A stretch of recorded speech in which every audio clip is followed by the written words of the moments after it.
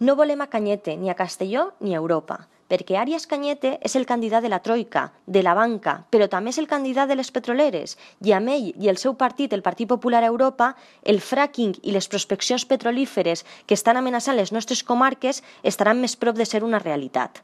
Àries Canyet en Europa estarà al servei de les grans corporacions i de la banca. Per tant, no hauria de vindre a Castelló a demanar el vot d'aquells a qui no defensarà.